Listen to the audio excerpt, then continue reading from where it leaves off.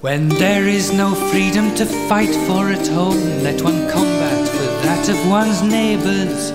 and think of the glory of Greece and of Rome,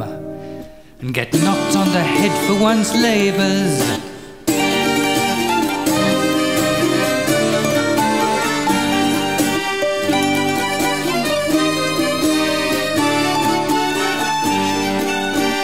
There is no freedom to fight for at home, let one combat for that of one's neighbours, and think of the glories of Greece and of Rome, and get knocked on the head for one's labours.